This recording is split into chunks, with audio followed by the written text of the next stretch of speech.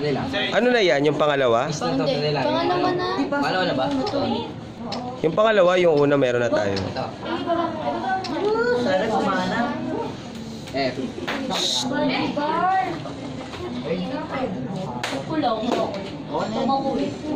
Square. Oh!